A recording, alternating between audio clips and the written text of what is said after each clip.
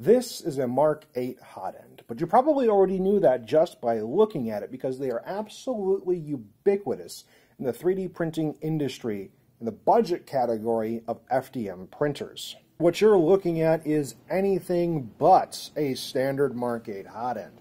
And that's the beauty of it is at this point these things are very modular. And you might start asking yourself why you bother with something like a Micro Swiss when you can make a Mark 8 hot end a high temperature reliable all metal system for the cheap. So how do we get to this point where this thing can handle ABS? Heck, could probably realistically do temperatures in excess of 300 degrees without much problem. Well, we got to change a number of things out, whether it's just for reliability's sake or for the sake of being able to print high temperatures uh, in a safe manner, because a standard Mark 8 hot end has the Bowden tube going down all the way to the nozzle. And PTFE, the stuff that Bowden tubes are made of, well, when you get past a certain temperature, they start to off-gas some toxic chemicals. That's why you need an all-metal hot end to print at high temperatures. To answer how we started out with a $3 hot end, and yes, you can actually get an entire Mark 8 system for $3, on places like AliExpress anyway, to something like this, which will cost you around $20, we got to disassemble it and talk about each component individually. We're going to build this hot end piece by piece. So that way you understand exactly why I've chosen the components that I have and why they work in the manner that they do. So first, let's talk about the components themselves. So we're going to start the build by making it more reliable than a standard Mark 8 hot end, and that comes down to this. Now, your standard Mark 8 hot end will have threads, and those threads are what's used to hold a pneumatic coupler in place. The type of pneumatic coupler that comes with a Mark 8 hot end are typically very cheap. They use a tiny bit of pressure to keep everything snug, but those fail relatively quickly. So the next thing people try and do to make it more reliable is get a pneumatic coupler that has teeth that will grip onto a Bowden tube, but that also fails relatively quickly. This is what's known as a compression fitting, and although they're not very popular in the 3D printing industry right now, I've come to find that my own testing with my custom Micro Swiss hot ends that these are the way to go. They are extremely reliable. I have yet to actually encounter a failure with one after hundreds, if not thousands, of printing hours. So this is what we'll use instead of a pneumatic coupler. The installation at this point is the exact same as a pneumatic coupler. We take the fitting and just screw it into place. Now, fun fact, the threads on a standard Mark 8 are 1 8 inch British spec piping threads. Now we need to talk about how we're going to make this hot end capable of printing at high temperatures safely. And to do that, we're going to need to install a titanium heat break. Now a heat break's job is very simple. It's to prevent the transfer of heat from the heat block to the heat sink. You see, you'll want the heat block hot so that it melts the filament right in here as it goes into the nozzle. If heat transfers upward into the heat sink, you might accidentally start melting filament before you're supposed to, and that can cause a clog. Now we use titanium for this application for a very specific reason. Titanium's a very strong metal, although it is rather brittle, so you don't want to crash your hot end into the bed. You might actually snap the neck right here of the heat break. But it's a very poor conductor of heat relative to other metals that we could use in this application, which is perfect because, like we said before, we don't want heat transferring upward, so titanium will help keep the overall system strong, rigid, and reduce the heat that soaks in to the heat sink from the heat block. Now a standard heat break inside of a Mark 8 hot end is actually not much of a heat break at all. It's more of a retention mechanism to hold a Bowden tube in place. Because in a standard Mark 8 hot end, the Bowden tube goes all the way through the heatsink, partly through the heat block, and directly butts up against the nozzle. We're going to make this system completely full metal, so that way the Bowden tube stops right up here and doesn't go anywhere near the heater block. To install a heat break like this into a Mark 8 hot end is pretty simple. We're going to take a look on the underside and you'll see that this heat break, which is designed for a Mark 8 hot end, will slide nicely into place. And we're going to focus the camera. There we go. Will slide in nicely. It should be about the same size bore. And what we're going to do is we're going to get it so that its face is flush with the other face of the heatsink, like that. And that'll be right about where we want it. And we're going to take the grub screw and gently tighten it down onto the heat break. We're not going to make our final tightening just yet, but this will help keep everything in place as we continue to assemble the hot end.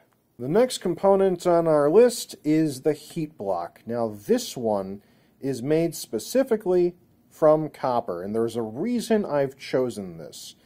Now, a standard Mark 8 hot end will come with an aluminum heat block, but I think everyone should stop using aluminum heat blocks no matter what hot end you're using, because quite frankly, aluminum is a soft, malleable metal and it only becomes more malleable the hotter it gets.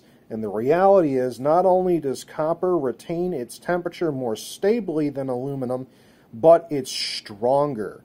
The chances of you destroying the threads on a copper block are significantly lower than on an aluminum block. When you tighten down the nozzle onto this block, you need to do it while the hot end is hot to account for thermal expansion. If you do that on an aluminum heat block, you're restricted to about 3 newton meters of torque on the nozzle before you start to destroy the threads. And if you destroy the threads on a heat block, you will create a gap in between the heat break and the nozzle where plastic will ooze up, build up, and clog copper heat blocks are superior. They are more reliable, they are more robust, and they allow for high temperatures and accurate PID tuning of the system. That's why we use it. So let's talk about how to properly install a heat block onto a heat break like this. Now this is the bottom of the heat block. So we're going to install it with the side that is completely flat and flush onto the heat break. Now we're going to just screw this together and we are aiming to get the heat break just low enough that it's about flush and in fact we're going to back it off a little bit because in order to do this properly we actually have to take the nozzle into account. Now what we're going to do is we're going to take the nozzle onto the heat block and we are going to bottom out the nozzle all the way. This nozzle will not go in anymore. Once you've bottomed it out, back it off about a quarter turn and then continue to screw down the heat break. Once you have the heat break buttered up against the nozzle. You can then take the nozzle and tighten it down because it's going to be tightening down directly against the heat break. We'll be doing a final tightening when everything is hot, but we're not quite done yet. You'll notice as we screwed everything in, there's a tiny bit of distance in between this nozzle and the face of the heat block, and that's okay because the nozzle is buttered up directly against the flat face of the heat break. You'll also notice that our heatsink is not facing the proper direction. That's okay. At this point, we need to loosen up that grub screw because we're going to be making some tiny adjustments. Once we've loosened up the grub screw, we can freely rotate everything around. We only wanted that grub screw slightly tight so that we can hold everything together as we assemble it. These are where the screws come in. These screws are there to add rigidity to the system. They get screwed in through these holes on the heat block and they go into these threaded portions of the heat sink. So once we get this lined up, we'll start them by hand and there will actually be a point where these threads will bottom out and will not go any further into the heat sink. So we're going to do that.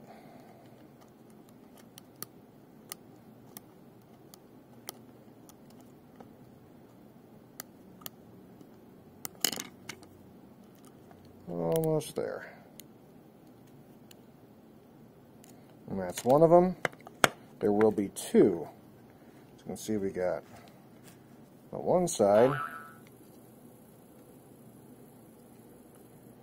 And we are now going to do the exact same thing to the other side. I'm going to try and focus the camera here. There we go.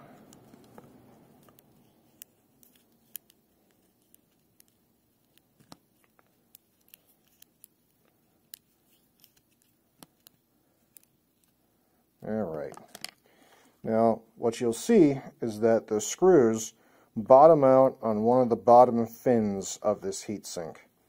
And you'll also notice that the heat block moves up and down. That's because the grub screw on the front that holds the heat break is loose. So at this point, we want to pull the heatsink and the heat block away from each other. Once you have those two components pulled away from each other, at this point we can do a final tight down of that grub screw. And now the system is in place and it's very rigid.